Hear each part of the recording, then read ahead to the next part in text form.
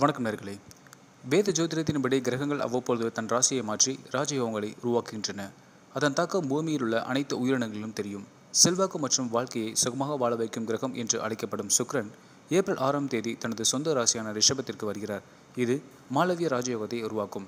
அதிலும் குறிப்பாக மூன்று ராசி அன்பர்களுக்கு இந்த யோகம் அபரிமிதமான செல்வத்தையும் தொழில் வாழ்க்கையில் பதிவு உயர்வையும் தரும் யோகத்தை உருவாக்குகிறது.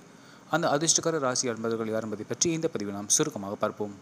மேஷம் மேஷராசி நண்பர்களுக்கு மாளவிய ராஜயோகம் பல நன்மைகளை கொடுக்கும். மேஷராசியின் இரண்டாம் வீட்டில் சுக்ரன் சஞ்சரிப்பதால் திடீரென பணவரத்து அதிகரிக்கும்.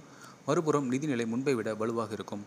திருமணம் ஆகாதவர்களுக்கு திருமண பாக்கியம் கிடைக்கும். காதல் விவகாரங்களில் வெற்றி உண்டாகும். குடும்பத்தில் உள்ள அனைவருடனும் உறவு பலப்படும்.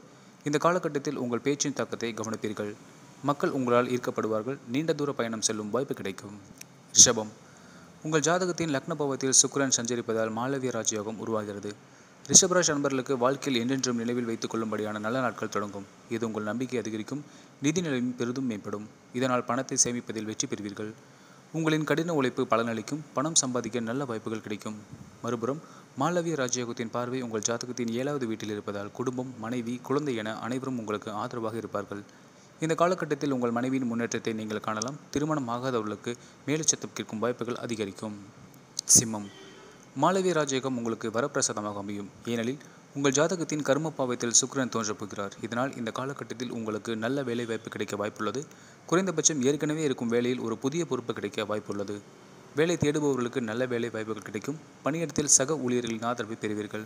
தொழிலில் ஈடுபடுபவர்களுக்கு இந்த காலகட்டத்தில் நல்ல லாபம் கிடைக்கும். புதிய வேலையை தொடங்குவதற்கு சாதகமான நேரம் இது. இந்த காலகட்டத்தில் தந்தையின் முழு ஆதரவையும் பெறுவீர்கள். மேச்சனா மூன்று ராசி நபர்களுக்கும் ரிஷபராசியில் சுக்கரன் உருவாக்கும் மாளவிய ராஜயோகத்தால் சிறப்பான காலம் தொடங்கும் என்பது ஜோதிடத்தின் கூற்று. வாழ்க வளமுடன்.